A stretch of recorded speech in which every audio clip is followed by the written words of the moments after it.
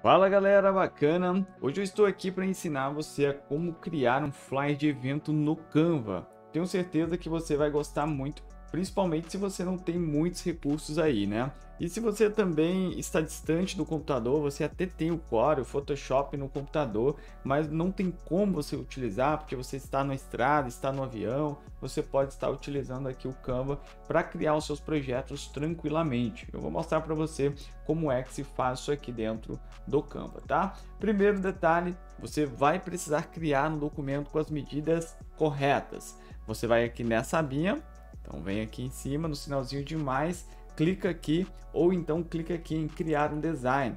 Que vai aparecer para você essas opções, você vai em tamanho personalizado e aí você vai colocar a largura 1080 e a altura por 1920 não, 1350, certo? Vai clicar aqui em criar, aí você vai criar aqui esse documento dessa forma que nós vamos fazer é, vou vir aqui no meus uploads e essas imagens que eu estarei utilizando aqui eu vou deixar para você na descrição desse vídeo. Então baixa aí um pouquinho, faz o download da imagem e volta a assistir o vídeo, tá? Nós vamos utilizar essa imagem como background, como nosso fundo. Eu vou aqui ampliar essa imagem, tá? Então vou clicar aqui, vou ampliar essa imagem. Com o Alt eu consigo fazer isso mantendo o eixo central fixo, e assim eu ainda mantenho a proporção. Então, clica aqui no alça do canto e com o Alt você vai ampliar ela. Beleza, vamos ampliar um pouquinho mais, porque eu achei que ficou pequeno. Vamos trazer para cá e vamos deixar mais ou menos aqui nessa posição. Depois disso, você vai aqui em editar imagem e você vai em ajustar. Clicando aqui, você vai vir até desfoque e vai desfocar um pouquinho não precisa desfocar muito não. Volta em Uploads, pega aqui o cantor e vamos posicionar ele agora. Vou ampliando ele aqui, vou posicionar basicamente nessa posição aqui, ó. Pode ampliar um pouquinho mais, deixa eu ampliar ele um pouquinho mais. Vou deixar ele basicamente aqui nessa posição. Depois nós podemos fazer novos ajustes, tá legal? Ok.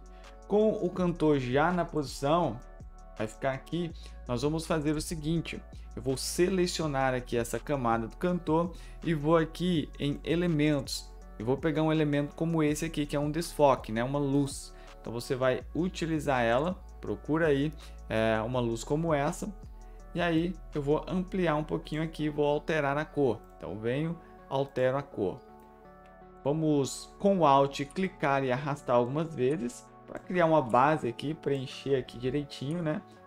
Então preenchendo aqui vai ficar bem legal, bem mais fácil de trabalhar. Legal, você pode aplicar uma outra e agora você vai alterar a cor para um vermelho. E aí você coloca um vermelho clarinho aqui no canto e um outro basicamente aqui. Só para não ficar tudo preto, tá? Daí você deixa aqui da mesma cor da arte. Tá vendo que o personagem que nós temos aqui, o artista, ele está inclinado aqui para a direita você vai clicar selecionando ele, vai vir aqui, vai dar uma pequena rotacionada na sua imagem para deixar mais retinho.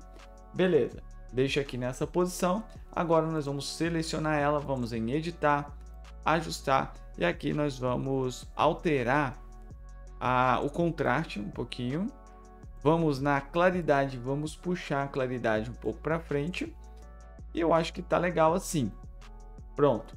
O que eu vou precisar fazer agora é selecionar novamente e eu vou dar um Ctrl C, um Ctrl V. E olha só, ele fez uma cópia para mim. Eu vou aqui em editar imagem e eu vou fazer o seguinte.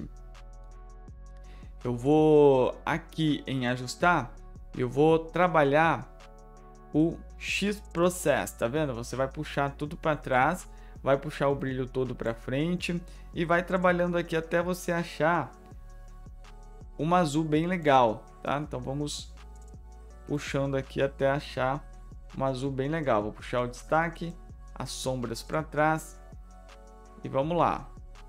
Deixa eu pegar aqui a contraste. Vou puxar o contraste para trás também. Eu acho que faltou um pouquinho mais de... Vamos puxar aqui para trás.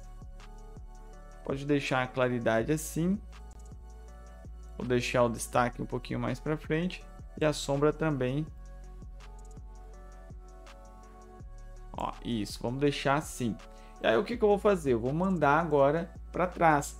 Eu vou mandando para trás aqui com Ctrl e aí eu tenho também a opção, deixa me ver aqui a opção. Eu posso vir aqui, ó, em posição e aqui eu tenho, ó, as teclas de atalho, tá vendo? Mandar para trás, enviar para trás. E aí eu tenho as teclas de atalho e também posso utilizar aqui essas opções, ó. Mando para trás, tudo de uma vez e aí eu posso voltar uma vez, posso voltar tudo de novo.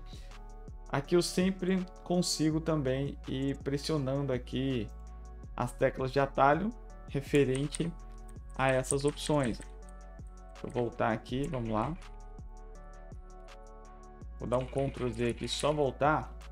Isso, e vamos mandando aí para trás.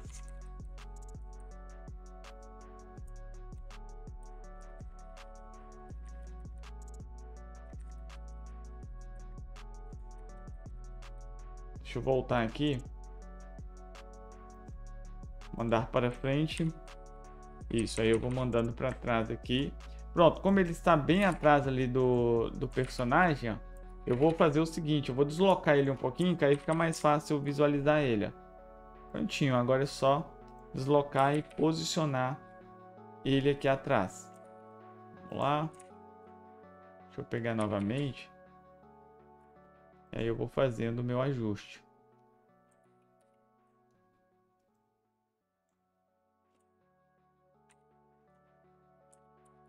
Ó, vamos ajustando. Acho que aqui tá legal. Vou dar um Ctrl C, um Ctrl V, vou posicionar outro aqui, ó, e vou mandar para baixo também. E daí eu vou com a seta de navegação ajustando. E vamos deixar mais ou menos aqui assim, ó. Isso. Legal, fizemos isso. Vou selecionar aqui o cantor, né? e vou aqui ó, em editar imagem e aqui embaixo eu tenho essas opções de, de efeito, ó. Tá vendo? Altos efeitos aqui, tenho muito efeito bacana. Aqui também, ó, eu tenho alguns efeitos que eu posso estar utilizando, então vamos utilizar esse aqui. Seleciono ele. Pronto, ele vai aplicar lá e aí eu vou mandar para baixo. Ó, mandar para baixo. Eu posso clicar aqui assim, ó, e utilizar a posição para enviar para trás, tá vendo? Eu posso clicar aqui, vou enviar para trás. Pronto, ele entrou ali. E agora nós vamos continuar a nossa edição. Vamos fazer o seguinte, vou aqui no texto. Para título, eu vou colocar esse Game On aqui, ó.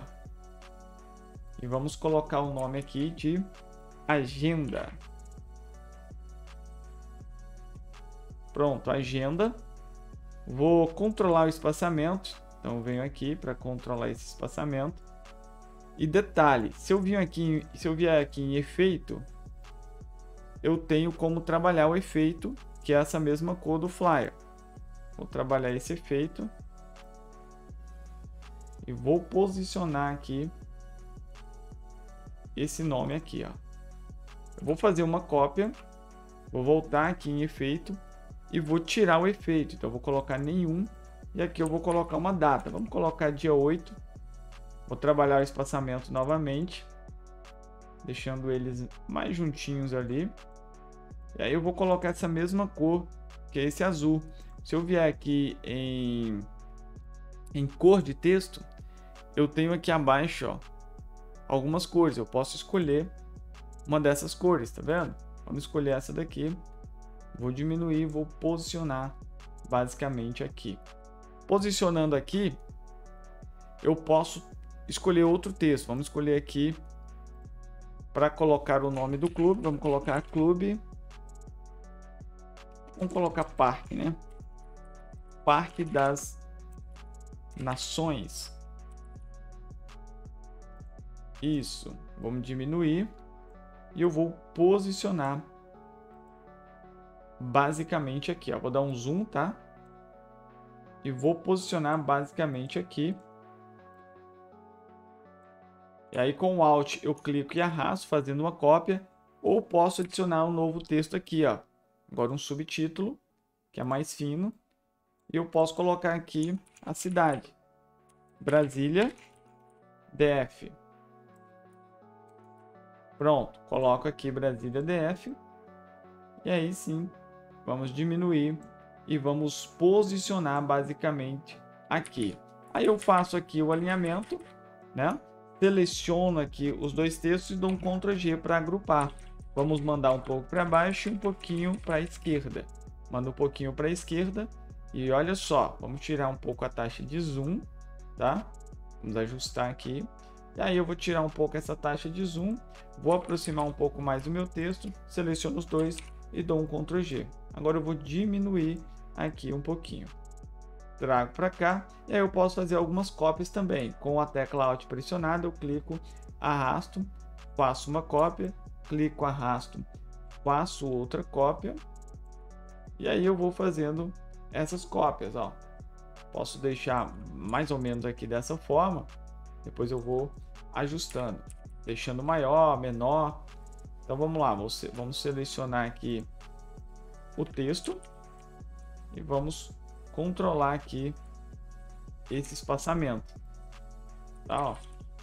Vamos controlar o espaçamento. E para mudar a data, você pode só clicar aqui, ó, duas vezes, e aí você consegue mudar a data, ó. Clica fora, clica no número, seleciona todo ele e coloca uma nova data. Vamos colocar aqui 28 e aqui 29. A cidade do mesmo jeito o local também do mesmo jeito, tá? Seleciona todos com o Shift pressionado, ó. seleciona o primeiro, mantém o Shift pressionado, sai clicando nos demais e aí você dá um Ctrl G novamente para agrupar todo aquele conjunto. Fez isso aqui, olha só, posso aumentar, diminuir e todos vão ser editados igualmente, tá? É, vou aqui agora pegar um desses textos, vamos pegar esse daqui, eu vou desagrupar com Ctrl Shift G. Vou selecionar esse texto aqui de cima, ó, e deleto ele. Pego esse daqui, venho aqui em efeito e vou tirar o efeito, colocar nenhum. E aí sim eu vou colocar aqui o nome shows. Vamos colocar de branco. E aí eu vou posicionar aqui, ó. Vamos diminuir um pouquinho.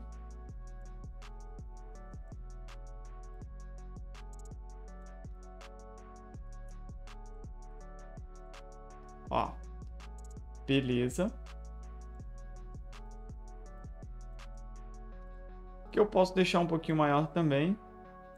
Só rotacionar um pouquinho. Ótimo.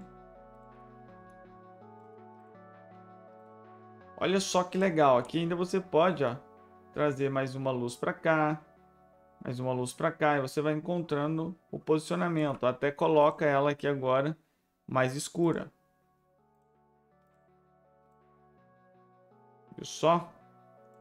Aí você vai ajustando e aí está o seu projeto.